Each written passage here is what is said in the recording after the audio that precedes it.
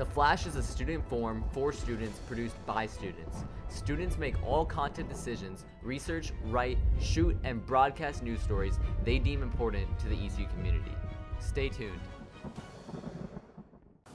What's new, ECU? I'm Katie, And I'm Lizzie. and we're really excited to present you our, our stories this week.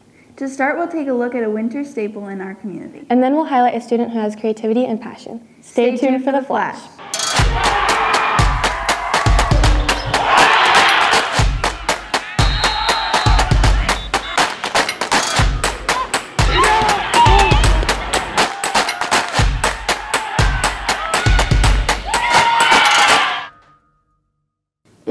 so cold lately. I am not ready for winter. Yeah, but I am excited for winter sports and activities. I've always wanted to try snowboarding. Well, good news for you, Buck Hill just opened. Lindsey has the story. Buck Hill geared up for its grand reopening on Friday, December 1st, promising an array of exciting new additions. There's, there's a lot of new things happening at Buck Hill this season. The biggest one being our brand new Doppelmayr Quad fixed grip chairlift. And we also have a bunch of brand new snow guns. Snow guns are the machines that make snow and new lighting on top of some of our uh, lift towers so people can see at night a lot better. One of the things I'm most excited about opening day is just the preparations that our entire staff has had all summer long to get to opening day. It's it's really exciting to see the, the, the smiling faces, the people coming out for the first time, whether they be novices getting uh, lessons or uh, like the, the veterans that have been coming out here for years and years. The, the excitement in the air during the opening day is, is really high, and it's a really good gauge on how the rest of the winter is going to go. Today's opening day. This is December 1st. It's a Friday, and the excitement and the stoke level are through the roof. With all the new changes, there's many thoughts surrounding the start of the new season. Feels good. I'm happy to be back. The snow feels pretty good for the first day, so I'm pretty happy. amazing that it started. It's pretty nice. It's pretty warm out, but Buck made enough snow for the last like week. It's pretty nice.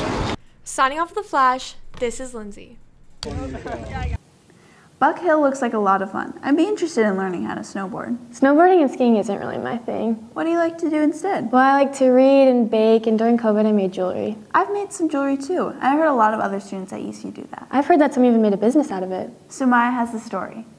Lua Boutique is run by the senior Ire Aluko. She produces various types of keychains, full charms, and bracelets that is made for anyone. Um, the name basically just comes from my name. Uh, it's a mix of my first name and my second and third middle names.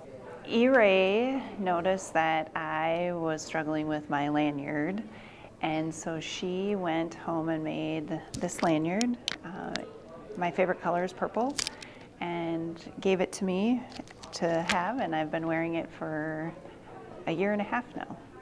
Ire uses various kinds of beads to increase her energy and develop remarkable attributes that make your day. I think it's really cool how like a student like has her, her own business and like it's just so creative. Like I could never make like little phone charms or like bracelets or anklets. Uh, I pick up a, a lot of hobbies, and this is one of the hobbies I picked up, and it was actually something I stuck with for the past two years. Amazing. Like I don't know what other word to use, but I think that's just super cool. Like taking the time out of your day to just find something that works for you and just going after it, and then just and she stays on her grind. That's why I see. We were in class yesterday, and she was literally making the beads in class. Like she stays on her grind. You guys can follow my Instagram. It's L U W A B I T I dot jewelry, and you guys can DM me to order. Signing off from the Flash, this is Sumaya with the help from Winnie. If you want to buy from Ire, it would be great for the holiday season. Jewelry is a great gift. I would love to get one wrapped under the tree. Speaking of Wrapped, Spotify Wrapped just came out, and I've listened to over 95 days worth of music. I only listened to 24. Oh. Well, Sam and Yunny went around asking how much other people listen to. Stay, tuned for the credits.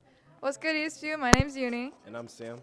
And welcome back to our third episode of Zap Snap, where we take a snapshot into a student's daily life. Today, we're going to be looking at people's Spotify Wrapped. Let's go.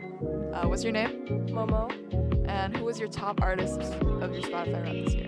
LE SSERAFIM, How many minutes did you listen to? 138,763. That's 96 days. Oh my god, that's three months. Okay, and how did you feel about your Spotify Wrapped this year? Everything was good except for my podcast. That was a, that's only bad part. Can I ask about your podcast? No. What's your name? Brooklyn. And who is your top artist for Spotify Rap this year? Billie Eilish. Um, what was your top song? Never Felt So Long by Labrinth. It's a good choice. How do you feel about your Spotify Rap this year? Do you feel like it was pretty good this year? I feel like I listen to a lot more music than just that, but What's your name? Otar. Otar, do you have Spotify? No.